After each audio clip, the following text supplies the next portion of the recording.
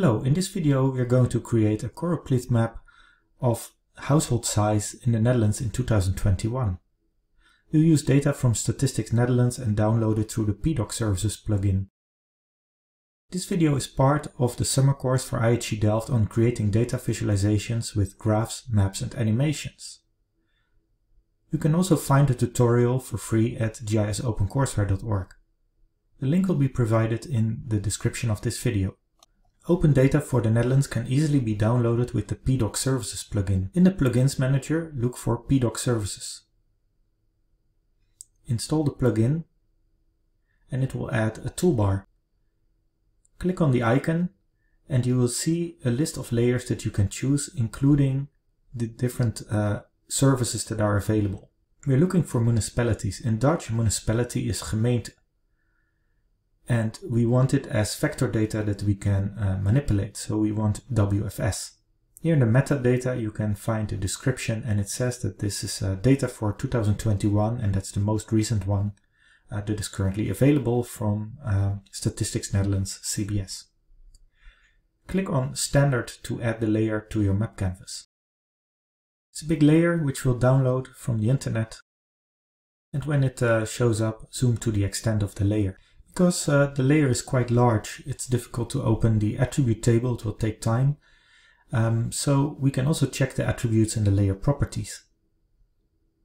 Scroll down, in the information tab you will find all the attributes that are in this uh, layer and you'll find there aantal inwoners, which means number of inhabitants, and aantal huishoudens, which means number of households. And those are the layers that we need for our calculation. Now this layer also has municipality boundaries that cover water bodies included in the municipalities and we need to filter them out because we're not interested in uh, showing those parts of the map. Without opening the attribute table we can do it by choosing select by expression from the toolbar and there is a field in the layer which is called water and if we load all unique values then we see that it has as attributes be ja, nee. And nee means no. So that's what we need to filter out. Water equals nee. Click select features and now we see in yellow highlighted the polygons that uh, don't contain water. Let's export the selected features and save them in the geo package. We create a new folder for this project on the hard drive. We call it choropleth and I save the database as municipalities and as a layer name I'll choose municipalities without water. Click OK and now remove the original layer. Let's also save the project in the GeoPackage. Choose project save to, browse to the GeoPackage and give the project a name. For example, choropleth click OK. The next step is to calculate the amount of people per household. And we would normally use the field calculator from the attribute table, but we can also use this button. Then we don't have to open the attribute table. And the output field name will be people per household. And the output field type is decimal. Then under field and values, choose aantal inwoners, the number of inhabitants, and divide it by aantal huishoudens, number of households.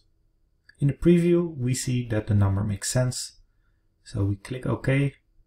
The calculation is applied, but we still need to save it. So we need to toggle the editing and save the results. The next step is to style our choropleth map. So go to the layer styling panel and for choropleth maps, we will always use the graduated renderer. And for value, choose here our calculated field with people per household. Click Classify to see the result with the default color ramp. The color ramp goes from white to red and red is associated with something that's uh, bad. And here we need a more neutral color ramp because uh, we don't want to give any uh, judgment on the number of people per household. So choose something neutral like purples and we'll use seven classes. And by default, it uses the equal count or quantile mode, which uh, makes sure that all colors are equally represented. But If we look at uh, the histogram, then we see that there are also a few uh, outliers and you can use this histogram to adjust the mode and the class boundaries. And here I think that natural breaks uh, gives a nice impression of uh, distribution in the country.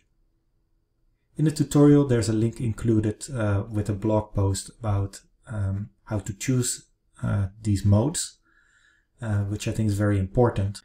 Now the reader needs some uh, orientation and therefore it's useful to add labels. So we change to single labels and we need to use the name of the municipalities. In Dutch that will be the field gemeentenaam. But it looks uh, already very crowded, so showing them all doesn't make much sense and we need to tweak a bit the visualization. So let's first go to the rendering tab and there check the box to show all labels for this layer including colliding labels. It makes it worse, but then we're going to change the data defined override using an expression to only select municipalities with more than uh, 100,000 inhabitants. So aantal inwoners, number of inhabitants, should be larger than 100,000. And click OK. Now this looks uh, less crowded, but it's not very uh, clear to read, so let's also tweak a few other settings of the labels. It would help to make a text buffer so check the box to draw the text buffer. Uh, make it a bit smaller, 0.5, should be enough. And now this uh, looks quite readable. You can tune it uh, more, but I'll leave it like this for this tutorial and save the project. So now we can finalize the map in a print layout. Go to Project, New Print Layout and give it a name. For example, household size. And the first thing we need to do is to change the orientation of the sheet. The map of the Netherlands looks better when the sheet is portrait. Then we can add the map frame. I'll make it as big as the map sheet. Now use the Move Item Content button to uh, scale the map in the frame. You can use Ctrl Scroll to make little steps with the mouse and make sure it fits nicely on the sheet.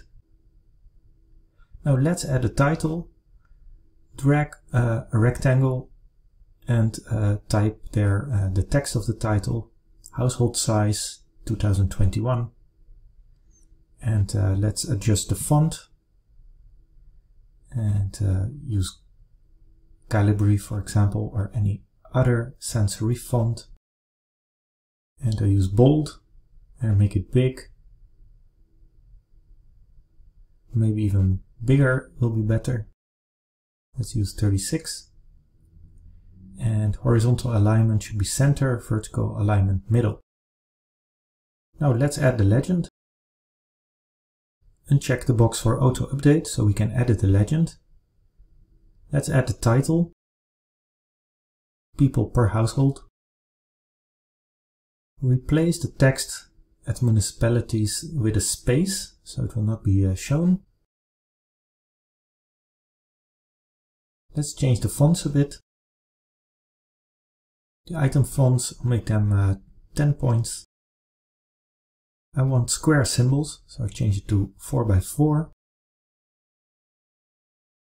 And I want to better align the numbers, so I give them all the same decimals. We need to change 2.5 to 2.50. Then I want to add some uh, text with uh, the data source and the author. And the data source here is uh, Statistics Netherlands, CBS. And I add there that that was via PDOK. And at Cartographer, you can insert your name. And you can also use dynamic text for that. Uh, if there's a variable with your name, you can use uh, project author. And there you see on the map sheet that it fills in my uh, complete name. Adjust the font. I'll just use uh, Calibri Light Italic 8 points and I drag it so it's aligned with uh, the southern province of Limburg. For background, change it to gray, so that's the fill color of the map frame, light gray. And then we also need to make uh, the background of the legend transparent by unchecking the box there. I'm going to change the spacing a bit to get the title closer to the legend. So the space below the title, set it to zero. You can still further uh, improve it by uh, moving the labels a bit, but for this tutorial I'll uh, leave it like this. You can export to PDF or to PNG. Here I will export it to PNG. I'll use the defaults and let's have a look at the result. That looks nice and you can still crop it of course in a program like this. And uh, overwrite it to have here the final result. If I scale it to a whole window, that looks uh, nice. As said, you can further improve it by editing, but now we can already start uh, interpreting what we see in the map. So in this video you've learned how to create a choropleth map.